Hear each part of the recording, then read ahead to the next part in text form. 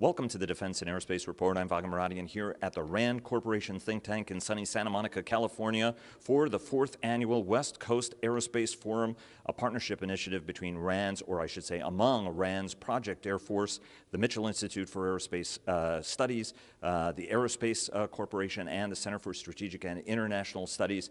And we are going to talk to two members of the National Defense uh, Strategy uh, Commission. Uh, we were honored we had a chance to talk to the chair chairs. Now we talk to some of the members, uh, Dr. Kath Hicks uh, from the Center for Strategic and International Studies and Dr. Uh, Tom Mahnken of the Center for Strategic and Budgetary uh, Assessments. Uh, you guys did the first panel discussion here today, which was, which was fascinating. Kath, I want to start with you. Sure. Um, one of the things that the commission did was to basically endorse trillion dollar defense budgets, right? Right now we're, the debate is whether or not we're at 700 or going to go up to 730 or, or more than that. That's, that's sort of the, the, the range.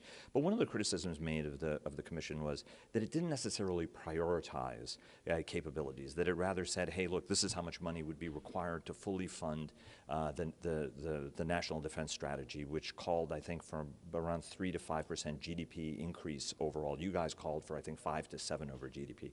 What's the right way to sort of think about where we are, especially in an environment where we're never likely to get the kind of money yeah. to do sort of the across the piece modernization and readiness improvement that, that's called for?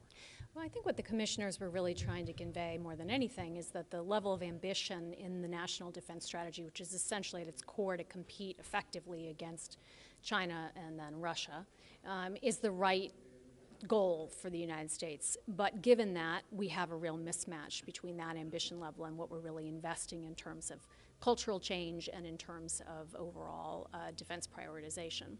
Uh, I do think the report prioritizes, frankly. It first talks very clearly about the need for new operational concepts, but doesn't dodge the bullet in terms of where we need to be investing today's dollars, even as we're evolving to the future. And so it walks through very clearly regional prioritization vis-a-vis -vis Europe, and vis-a-vis Asia uh, in particular, and then some specific functional areas, cyberspace, et cetera. So I would call your attention to those priorities laid out in the report.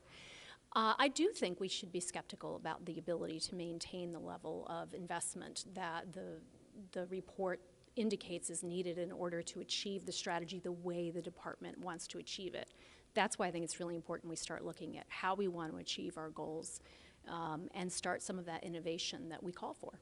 Um, and, and we have a Democrat and a Republican here who served uh, uh, gallantly in administrations, uh, struggled with a couple of QDRs in the process, uh, I, I, think it's, it's safe to say. Um, Tom, you know, the, the, debate though in Washington, and I think Kath was talking about this from the platform, devolves too easily into how much money, right? It's, it's, and, and then it becomes a weapon that's used by one party against the other party. What's the right way to sort of think about the challenge, think about where we are, and the importance of sort of getting it right on this particular cycle? Yeah, well, I think as we start with what the challenges are that we face. You know, so in the macro, we face uh, an era of great power competition and the possibility, as scary as it is to think about, of great power war. Below that, we face a whole series of operational challenges, and those operational challenges should be the things that we really focus our attention on. Um, where our resources are always constrained, that's axiomatic, right? Uh, our, I'd say our political objectives are less uh, amenable to change than some people would like to believe. We, we are a global power. We, are a, we, we operate in multiple, multiple theaters. So between that, between our ends and our resources, there, there is going to be some sort of a gap. Now, we'd like to minimize that as much as we can, but we need to deal with that gap in terms of developing innovative operational concepts, innovative capabilities, uh, we need to think about deterrence, more effective ways to deter, both conventionally and, and also with nuclear forces. I think that's the way to, to really bound this problem. Um, this report is the third sort of in a series. If you, or, I mean, you pointed out, right, 2001, QDR actually framed and said all of the problems and challenges we'll have. It's just that U.S. capabilities are weaker now against those vis-a-vis -vis potential adversaries than they were then. And 2010 highlighted this, 14 highlighted it, and now we have this again, um, where you guys are ringing actually a very loud alarm bell. One of the things that when we talked to uh, Eric Edelman and, and Admiral Roughead, uh, Gary Roughead, the co-chairs of it, was as, as um, Ambassador Edelman framed it, the very importance that the entire global order basically depends on the United States being the underpinning guarantor of that. And absent that investment, the worst strategic situation you can be in is actually a, a, a, a superpower who's not seen as having uh, any uh, deterrent effects to that. How do you think is the right way to go through this if you don't have the full resource part of that, right?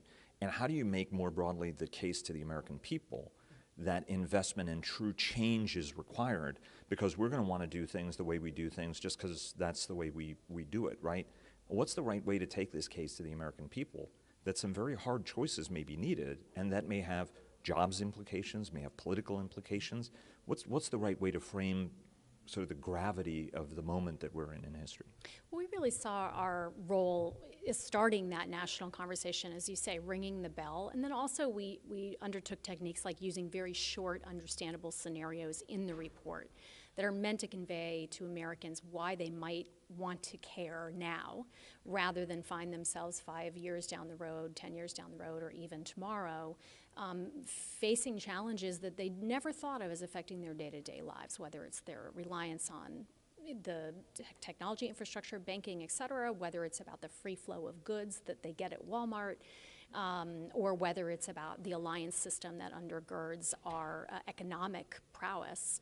Um, so those are the ways we started to try to get at that conversation. I think uh, Eric Edelman has it just right, which is that Americans are best positioned, we thought, as a commission, when the United States has a leading role in the world, and our military, our ability of the military to support that through deterrent posture, but also again to protect the the economy, um, is vital. And I think we do the American people a disservice, and we do Congress a disservice, and we were a congressionally mandated Commission if we were to have failed to really outline the, the magnitude of this challenge and what's going to be take what it's going to require to, to meet it. So you know, there's a tendency, particularly for those you know serving in government, to, to sugarcoat things one way or the other. We we laid it out there, and to get that conversation started. Um, do you think that there is going to be what's it going to take let's hypothetically say that there is a major uh, combat aircraft program we have that's no longer needed, or a major shipbuilding program that's no longer needed. That it's very, very hard to get folks to admit that some of these systems may not be the right systems, or even operational concepts that we have thought for a long time are going to be useful.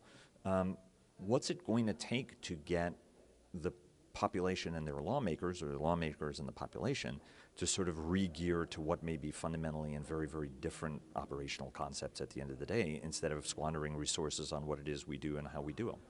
I don't think you can ever underestimate the value of um, inspired leadership. You saw, for example, under Bob Gates, a secretary that uh, across two administrations, both of us worked for, who did cancel programs, who did challenge the services fundamentally and the entire enterprise of DoD, along with its uh, Congress and industry to rethink uh, their ways of doing business, who did prioritize um, some innovative approaches like MRAP that were put to field very quickly.